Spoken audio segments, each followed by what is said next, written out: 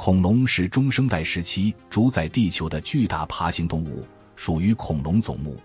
它们出现在大约二点三亿年前的三叠纪晚期，并在随后的侏罗纪和白垩纪广泛繁衍。恐龙的多样性使其成为当时主要的陆地脊椎动物，统治地球长达一点八亿年。根据化石记录，科学家们将恐龙分为两大类：蜥臀目和鸟臀目。蜥臀目包括许多肉食性恐龙，例如著名的霸王龙，以及一些草食性种类；而鸟臀目主要是草食性恐龙，如三角龙等。恐龙的分类不仅揭示了它们的生物学多样性，也为科学家研究其生态和进化提供了基础。恐龙在白垩纪末期约六千六百万年前大规模灭绝，最流行的理论认为。这一灭绝事件是由一颗巨大的小行星撞击地球引发的，这导致了全球气候的剧烈变化，破坏了恐龙的生存环境。然而，这次灭绝并未完全终结恐龙的血脉。科学家们发现，现代鸟类实际上是从小型兽脚类恐龙进化而来的，成为恐龙的直接后裔。这一发现不仅重新定义了鸟类的起源。也使得恐龙的影响力延续至今。恐龙的化石记录在全球各地都被发现，这为科学家提供了研究恐龙形态、习性和进化的宝贵资料。恐龙的身高和体重差异极大，从仅有几十厘米高、几公斤重的小型恐龙，到超过三十米高、几十吨重的巨型恐龙。小型恐龙如小盗龙，可能只有鸡的大小。而最大的恐龙，如阿根廷龙，可以重达一百吨，身长超过三十米。这种巨大的体型差异反映了恐龙在不同生态环境中的适应能力。脚印化石是另一个重要的研究对象，它们能够揭示恐龙的行走速度、群体行为以及它们生活的环境。通过这些脚印，科学家们能够推测恐龙的行走模式和社会互动。部分恐龙。比如驰龙类，甚至被发现覆盖有羽毛，这些羽毛可能用于保温、伪装或者求偶展示，与现代鸟类的羽毛功能类似。羽毛恐龙的发现为我们提供了关于恐龙生活方式的更多线索。恐龙的饮食习惯也各不相同，从草食性到肉食性，再到杂食性，各类恐龙在食物链中扮演了不同的角色。例如。霸王龙这样的掠食者主要以其他动物为食，而三角龙这样的草食恐龙则依赖植物生存。这种多样化的食性策略，使得恐龙能够在各种环境中找到生存之道，并在生态系统中建立复杂的食物网。恐龙的生命周期与其体型和种类有关，小型恐龙的寿命可能只有几到十几年。而大型恐龙，如蜥脚类，寿命可能超过一百年。恐龙从卵中孵化，经历幼年、青年和成年阶段。随着生长，恐龙的体型和行为会不断变化，以适应不同的生存需求。恐龙的生态适应能力极为突出，它们不仅分布广泛，而且能够适应多种环境条件，从茂密的热带雨林到干旱的沙漠。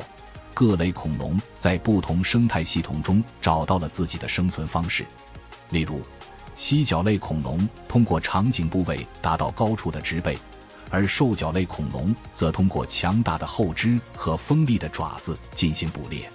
这种生态适应性是恐龙能够统治中生代的关键原因之一。恐龙的社会结构在不同的种类之间可能差异很大。化石证据表明。一些草食性恐龙可能会形成稳定的群体，以共同抵御掠食者的威胁。相较之下，许多大型肉食性恐龙则可能是独居的捕食者，它们通过强大的力量和敏捷的动作来捕获猎物。这种社会结构的多样性反映了恐龙在生态系统中的复杂角色和生存策略。古气候的变化对恐龙的生存产生了重要影响。恐龙生活的中生代时期，地球经历了多次气候变化，这些变化直接影响了恐龙的分布和多样性。例如，湿润的气候可能促进了植食性恐龙的繁荣，而干旱的环境则对许多恐龙种类提出了生存挑战。这种气候的波动性也可能为恐龙最终的灭绝埋下了伏笔。关于恐龙的繁殖行为，化石证据显示，许多恐龙可能会筑巢，并照顾孵化中的蛋和幼崽。这样的行为与现代鸟类十分相似。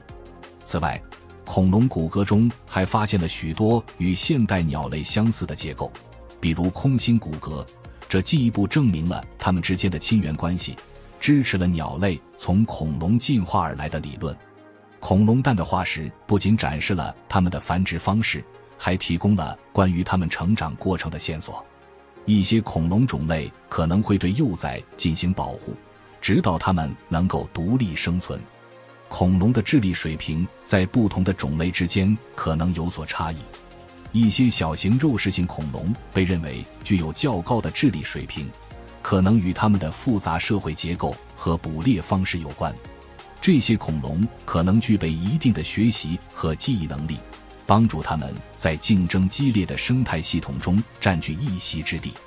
而一些大型的植食性恐龙则可能依赖于群体行为和庞大的体型来保护自己免受捕食者的威胁。恐龙的色彩也是一个有趣的研究领域。通过对一些保存良好的化石的研究，科学家已经能够推测出部分恐龙的颜色和花纹。这些颜色可能用于伪装、交流或吸引配偶。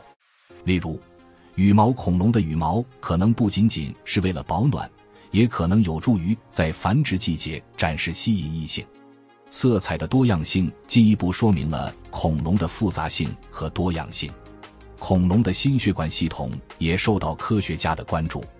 由于大型恐龙的巨大体型，科学家推测它们可能拥有复杂的心血管系统，以支持身体各部分的血液循环。特别是对于巨型蜥脚类恐龙，强大的心脏和血管系统。可能是维持其生命功能的关键因素。这种适应性使得它们能够维持庞大的体型和长时间的活动。恐龙也会患病，化石记录中显示出一些恐龙曾遭受过骨折、关节炎等疾病。这些病理学发现帮助科学家了解恐龙的生活压力和生存挑战，研究恐龙的疾病和受伤情况。可以揭示它们如何应对环境变化和天敌的威胁，从而为他们的日常生活提供更多的线索。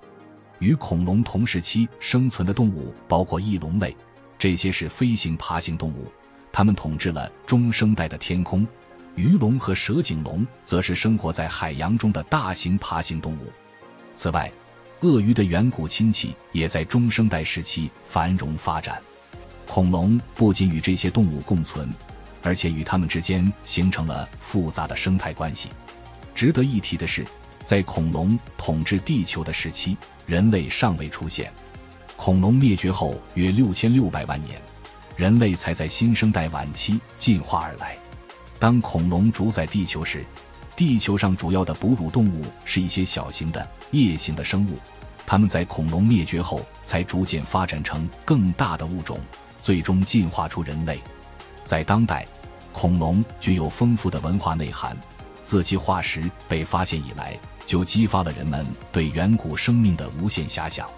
在科学领域，恐龙代表着地球生命的演化和灭绝过程。